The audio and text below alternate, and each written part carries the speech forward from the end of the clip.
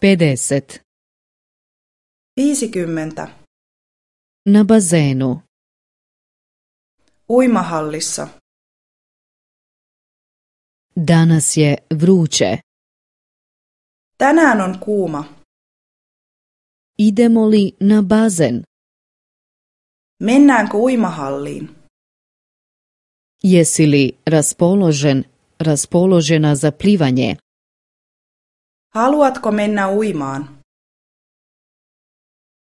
Imaš li ručnik? Onko sinulla pyyhettä?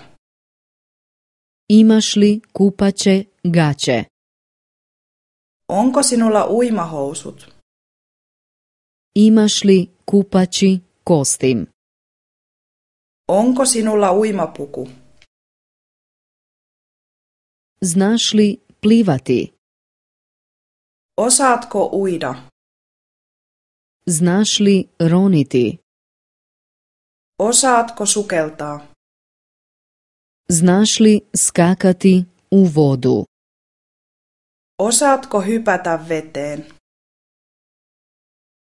Gdje je tuš? Missä suihku on? Gdje je kabina za preslačenje? Missä pukuhuone on? Gdje su naočale za plivanje? Missä uimalasit ovat? Je li voda duboka? Onko vesi syvää? Je li voda čista?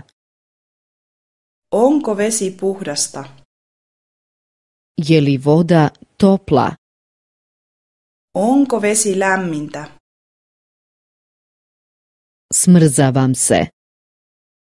Minua paleltaa. Voda je prehladna. Vesi on liian kylmää. Idem sada van iz vode.